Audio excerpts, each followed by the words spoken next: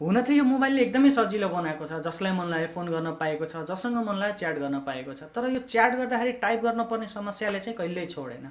त्यही भएर साथीहरू यदि यो बोलेर यसले टाइप गर्ने भए कति सजिलो हुन्थ्यो होला हामी यहाँबाट बोलौँ हामीले बोलेका हरेक शब्द उसले टाइप गरिदियोस्।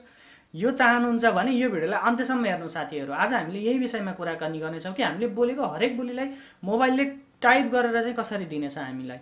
र ढिलो नगरिकन लागौँ भिडियोतर्फ। हाम्रो च्यानललाई सब्सक्राइब गरी बेल आइकन थिच्न नभुल्नुहोला।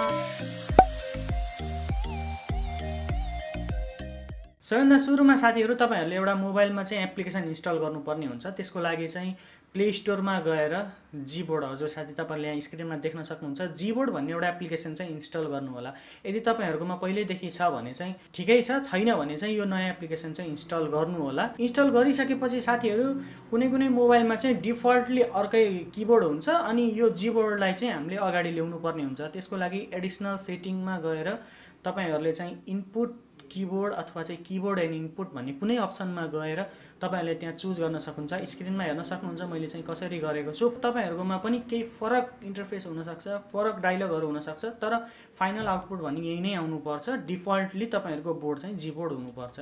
अब यो गरिसकेपछि तपाईँहरूले अझै एउटा सेटिङ गर्नुपर्ने हुन्छ। त्यही जिबोर्डमै गएर अथवा तपाईँहरूले टाइपिङ गर्दाखेरि सेटिङ भन्ने एउटा चाहिँ आइकन देखाएको हुन्छ। र साथीहरू यो दुइटैमा चाहिँ एउटै इन्टरफेस खुल्ने गर्दछ। पहिला सुरु चाहिँ एड ल्याङ्ग्वेज गर्नुपर्ने हुन्छ। डिफल्टली इङ्ग्लिस मात्र हुन्छ। तपाईँहरूले चाहिँ एउटा एड ल्याङ्ग्वेजमा गएर नेपाली पनि एड गर्नुपर्ने हुन्छ। एड गरिसकेपछि अझै एउटा अप्सन चाहिँ इनेबल गर्नुपर्ने हुन्छ।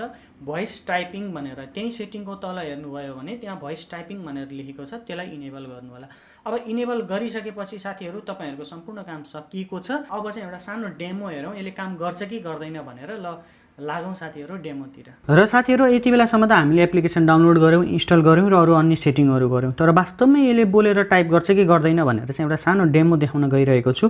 त्यसको लागि मैले मेसेन्जर खोलेँ। मेसेन्जर खोलिसकेपछि यहाँ मैले टाइपिङ सेक्सनमा आएको छु। टाइपिङ गर्ने होइन त्यसको लागि चाहिँ मैले यहाँ अहिले चाहिँ तपाईँहरूले यहाँ देखिरहनु भएको बेला इङ्ग्लिसको फन्ट आइरहेको छ। यो तलपट्टि ग्लोब्स पृथ्वी जस्तो देखेकोमा एकचोटि क्लिक गर्नुभयो भने चाहिँ यहाँ फन्ट चाहिँ नेपाली आउँछ।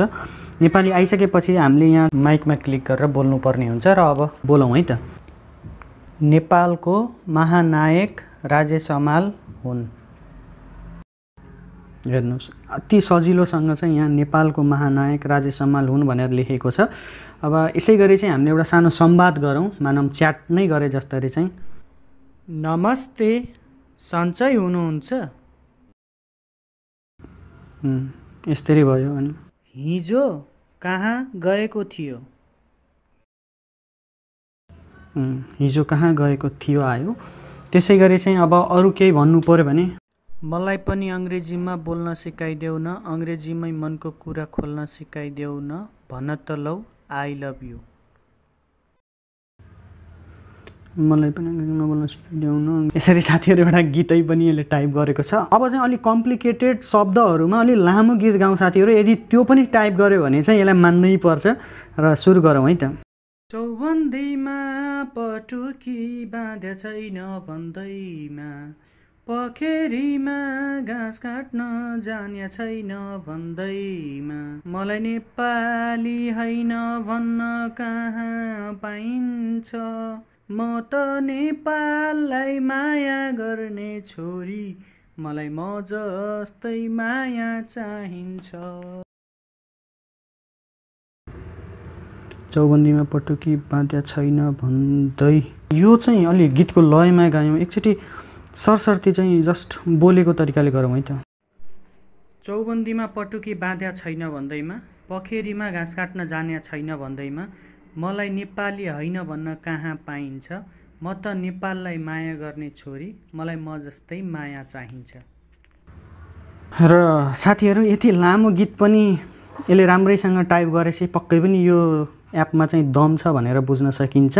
र यसरी सजिलोसँग बोलेरको भरमै चाहिँ तपाईँहरूले चाहिँ कुनै पनि म्यासेज गीतहरू चाहिँ टाइप गर्न सक्नुहुन्छ। तर मेरो बुझाइमा चाहिँ साथीहरू यो बोलेकै भरमा टाइप गर्नुभन्दा पनि नेपाली टाइपिङ सिक्दा अझै राम्रो हुन्छ। किनकि कतिपय ठाउँमा चाहिँ स्वर आवाज बाहिर धेरै हुने गर्दछ। त्यसले गर्दाखेरि चाहिँ जे भन्न खोजेको छ त्यो टाइप नहुन सक्छ। कतिपय अवस्थामा हामीले भन्न खोजेको कुरा बाहिरले नसुनोस् भन्न चाहन्छौँ त्यसको लागि पनि हामीले बोलेर त टाइप गराउन सकिन्न त्यसको लागि पक्कै पनि हामीले टाइप हातले नै टाइप गर्नुपर्ने हुन्छ। र साथीहरू तपाईँले हेरिसक्नुभयो होला कि कति सजिलोसँग बोलेको भरमा सम्पूर्ण शब्दहरू चाहिँ मोबाइलले आफै टाइप गर्ने गर्दछ।